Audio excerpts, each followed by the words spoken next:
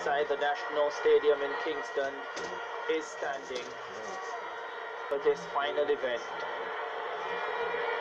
The journey from 2002 special World Junior Gold, 2003 special high school champs records at 200 and 400. This is the last one. Set. Sent. Bolt didn't get a great start. Getting up well is Mincy Ashmeade.